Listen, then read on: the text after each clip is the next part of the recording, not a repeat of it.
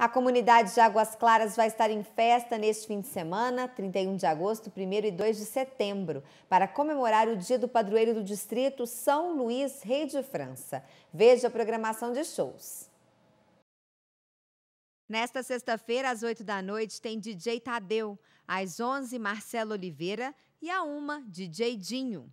No sábado, 1 de setembro, às 11 horas, As Marcianas, à 1, DJ Tadeu. No domingo, dia 2 de setembro, às duas da tarde, brincadeiras com crianças. Às quatro, Clérison Araújo e banda. E às sete da noite, DJ Dinho.